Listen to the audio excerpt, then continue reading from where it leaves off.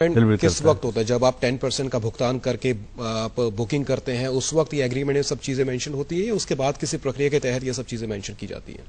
नहीं दस परसेंट के टाइम पर तो आपको कुछ भी वो नहीं देगा। जब आप बाकी जब पेमेंट करके और जब आप लोन डिसबर्स करते हैं उसको जी, जी। उस वक्त में आप आप पे वो साइन करके देगा पूरा डॉक्यूमेंट जी अशोक जी आपकी क्या राय है? जैसा कि हमारे एक दर्शक ने सवाल पूछा कि वक्त पर उन्हें पोजीशन नहीं मिल पा रहा है फ्लैट का। इस स्थिति में उपभोक्ता क्या कुछ कदम उठा सकता है?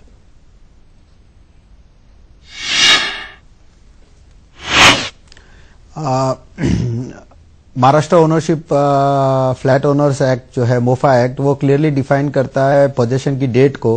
तो फ्लैट लेने के वक्त एक कंज्यूमर ने बिल्डर के साथ फ्लैट की पोजेशन की डेट को फाइनल करना ज़रूरी है और उसके साथ साथ आ, कि अगर लेट होता है तो क्या उसको कंपेंसेट किया जा सकता है? और अगर ये सारी चीज़ें कागज़ के ऊपर बहुत ही क्लियरली डिफाइंड है तो कंज्यूमर कोर्ट उसके लिए ओपन है, जहाँ पे वो उसको राहत मिल सकती है। जी, आजकल किस तरह की परंपरा है अशोक जी? क्या ये एग्रीमेंट के वक्त कागज़ पे पूरी अच्छे तरह से साफ़ साफ़ लिखा जाता है, या जो जो उपभोक्ता इसके लिए फोर्स करते हैं, सिर्फ़ उन्हीं के लिए फैसिलिटी दी जाती है?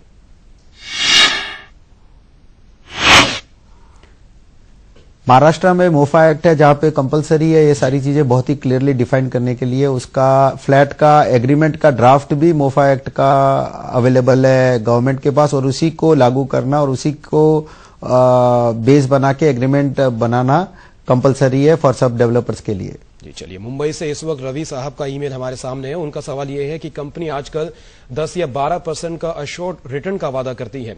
अशोक जी, आपसे जानना चाहेंगे, अशोर्ट रिटर्न ये क्या चीज़ है? इसको किस तरह से अवेल किया जा सकता है? और 10 या 12 परसेंट तक का अशोर्ट रिटर्न जो मिलता है, ये कितना फ़ायदेमंद का सौदा है? क्या इसमें कोई जोखिम भी होता है?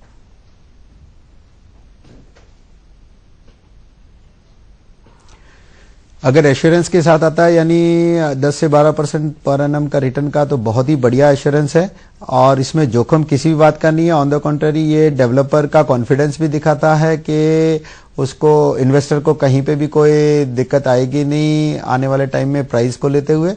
और अगर कुछ आती है तो बिल्डर उसको कंपेंसेट करेगा। तो ये एक फाइनेंस एग्रीमेंट भी है between the investor as well as builder का। जी। चलिए अशोक जी आपसे लगातार हमारी बातचीत जारी है। प्रभाकर जी हमारे प्रोग्राम कार्यक्रम का वक्त लगभग खत्म हो चुका है। दिल्ली एनसीआर काफ़ी बड़ा एरिया है जहाँ पर 22 लाख तक के बजट के लिए भी प्रॉपर्टी उपलब्ध है करोड़ों के बजट के लिए भी प्रॉपर्टी उपलब्ध है। ऐसे में जो भी बजट हो उसके अनुसार प्रॉपर्टी लेने जब जाएँ तो क्या आप टिप देना चाहेंगे? किन किन बातों का ध्यान रखें? सबसे पहला कि आप कनेक्टिविटी देखिए। जहाँ पर भी और जो भी आप प्रॉपर्टी ले रहे हैं कि वहाँ पे रोड ऑलरेडी बनी होनी चाहिए और वो अगर मेन रोड के ऊपर वो प्रॉपर्टी है तो वो आपके ज़्यादा सुटेबल ज़्यादा ठीक रहेगा। वहाँ पे अप्रिसिएशन भी ज़्यादा तेज से होंगे और वहाँ पर बाकी डेवलपमेंट में ज़्यादा तेज से होंगे। तो सबसे पहले आप गौर करिए कनेक्टिविटी कैसी है उस पर्टिकुलर प्रॉपर्टी की और उस एरिया की। वो सबसे ज़रूरी चीज़ है देखना।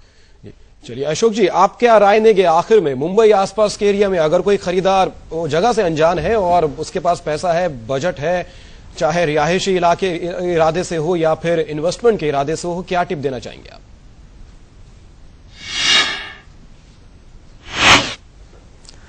आ, उसको फास्टली अगर आ, सारी चीज़ों का आंकलन करना है तो उसे हाउसिंग फाइनेंस कंपनी में से टाइटल के बारे में चेक करा लेना चाहिए। या फिर डेवलपर को पूछना चाहिए कि आपकी कोई आ, रेटिंग कंपनी से कोई रेट की हुई है तो वो एश्योर्ड हैगा कि इन्वेस्टर या बायर के सारी रेटिंग कंपनी ने ड्यू डिलीजेंस की हुई है। प्रॉपर्टी हर महीने में in terms of builder credentiality status of the project और title as well as approved plan की तरफ़ से और कंस्ट्रक्शन ऑन साइट की दिशा में सब जगह से सही है। जी चलिए तो Ashok ratings housing finance institution का की तरफ़ से किसी भी प्रोजेक्ट के बारे में रिव्यू लेना बहुत ज़रूरी है। चलिए जागरूक रहें और पूरी जानकारी हासिल करने की कोशिश करें क्योंकि जो भी आप पैसा इन्वेस्ट कर रहे हैं वो छोटा मोटा पैसा नहीं है लाखों का अमाउंट है। तो ज़रूरत है तमाम जागरूकता को जागरूकता के साथ तमाम सवालों के जवाब खुद ही ढूँढने की। फ़िलहाल अशोक जी आपका बहुत बहुत शुक्रिया। मुंबई स्टूडियो से हमारे साथ जुड़े और दर्शकों के तमाम सवालों के जवाब दिए आपका बहुत बहुत शुक्रिया। और प्रभाकर जी आपका भी बहुत बहुत शुक्रिया। आप दिल्ली स्टूडियो में आए और आपने दर्शकों के तमाम सवालों के जवाब दिए। थैंक यू इसी के साथ ही आज के मनी मंत्र में इतना ही। अगर आपके पास भी कोई सवाल या फिर सुझाव है तो आप हमें money Mantra at D D dot N I C dot in पर ईमेल कर उस सवाल को भेज सकते हैं। आज के लिए बस इतना ही। हमें दीजिए इजाज़त। नमस्कार।